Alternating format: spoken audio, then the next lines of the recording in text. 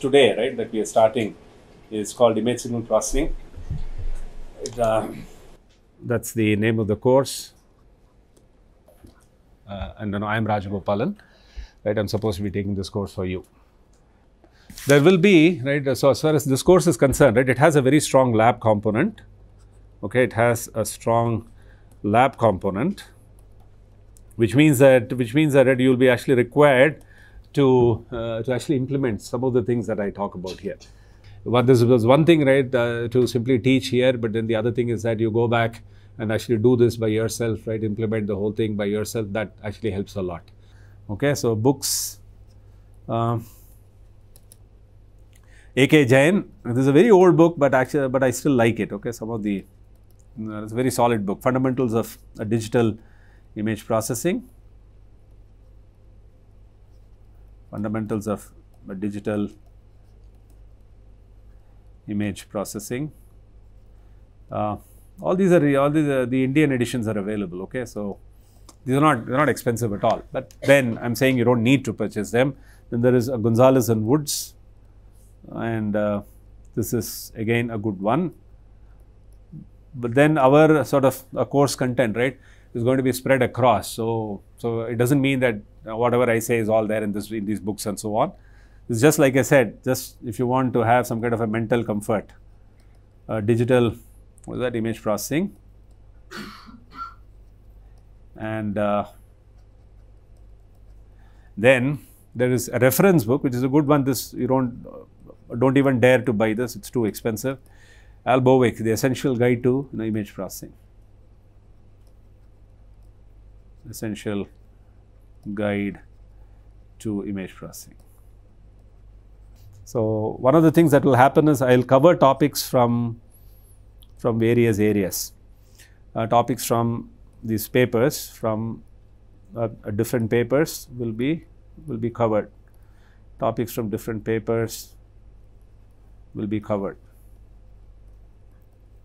Okay, and uh, wherever I can, I'll, I'll actually tell you the paper so that, uh, no, for those of you who are interested, you can go back, read the paper, right, just in case you want to know more you can always read those papers.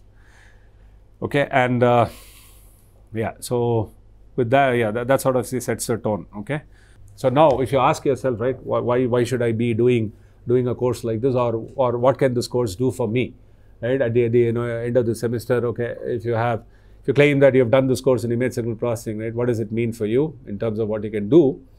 What uh, right? What it can actually do for you is that you will have a, know, you'll have a working knowledge of of ISP Okay, let me just shift to the next page. Okay, so so what will it do for you? So what will it uh, do for you? So so the idea is that right, you will have a working knowledge. Working knowledge in the, in the sense that right, you should be able to read a paper, implement things, and so on. So that initial psychological barrier, right, that let's say that students have that I mean, what is this paper and how do I implement and so on after you kind of after you're done this course, you should feel absolutely at home, being able, you know, in being able to, uh, you know, having, uh, being able to having a working knowledge, right? So have you will have working knowledge, uh, working knowledge uh, of ISP. ISP is uh, image processing, okay, or IP, okay, not uh, not intellectual property. IP, along with a firm grounding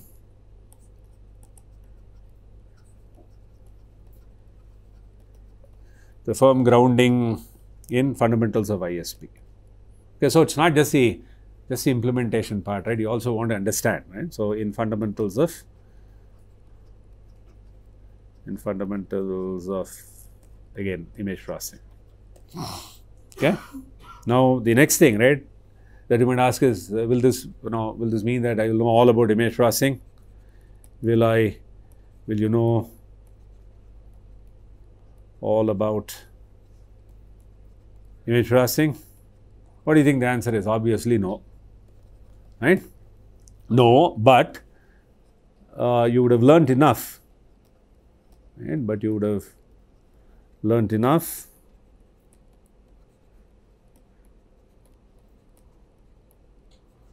learnt enough to be able to confidently read and understand. So, you see the idea is that right one this is simply a basic course right of course there, there are advanced advanced these, uh, these concepts and all that.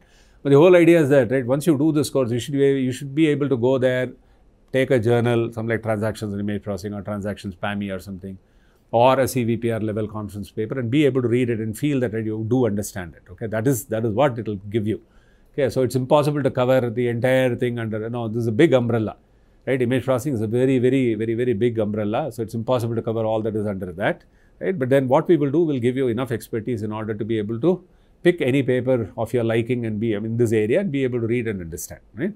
So confidently read papers and understand them. Because eventually right one should be able to read papers and all. I mean that's why uh, that's why it's a it's a kind of an advanced elective right? It's not like a core. That's the whole idea uh, you know behind an elective is that you should be able to understand and read you know advanced papers you know papers and understand them.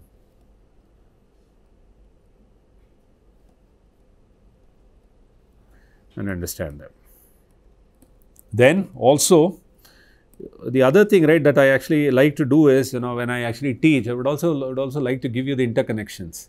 Okay, something you read somewhere like for example if you're doing a, doing an SVD right? Then what kind of interconnections that it might have with respect to let's say photometric stereo or or with respect to filtering noise filtering right? All those interconnections also right wherever wherever appropriate right I'll try to explain so that so that you know you also understand the understand the uh, understand the importance of uh, why you're learning these things. And some of these things you'll also do, by the way, right? Also, you would have learned.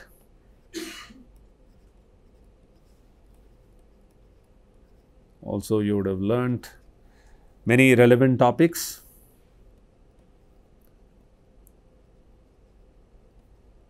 topics and there you see interconnects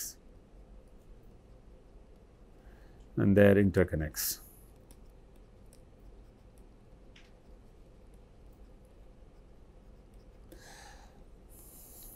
Okay.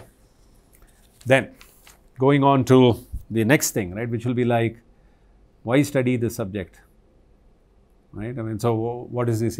What is the importance of this subject as of today? Mm. Hmm. So, so in the first class, right, I always always try to try to give people an idea as to where all okay it's being applied today because you know, it's not true that all of you would have already know, would already know probably where image processing gets applied and so on. But then, we, you know, these days, right, uh, with the kind of cell phone usage that I see around, I'm sure, you know, the camera is one of the things that is probably most used, right? So, I mean, I guess.